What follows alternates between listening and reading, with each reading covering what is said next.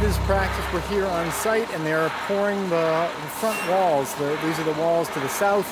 They're going to have all the windows over them. Uh, as you can see behind you, they're uh, loading them up with concrete right now. We've got two trucks, and uh, I'm not a, an expert in concrete, but my suspicion would be they have two trucks because they want to make sure they don't run out partway through because when you're pouring concrete, you want to make sure that it all binds together.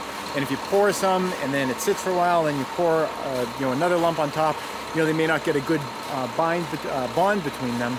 So I think that's why they got the two all ready to go here. And they're really just cooking through that. There's a little bit of uh, footing left to do over here, so I think they're probably going to end up throwing some concrete in there as well. Um, but you know, it's process moving forward, moving ahead really great. And today is probably the last day that we're not going to have at least a wall of uh, concrete forms up in the back here. So this is really the last day that the site is going to look like this, where everything's flat and pretty much at ground level. Uh, after today, the next couple days, that back wall is going to go up, and this is really going to start to look like a structure here.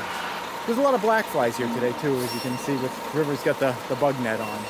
I find that with black flies, it's helpful just to have a, a brimmed hat because they, they're too stupid to oftentimes figure their way around the brimmed hat. So I'll wear this, they don't seem to be bugging me, but River wanted some extra insur uh, insurance for it. That's it. Thanks for watching.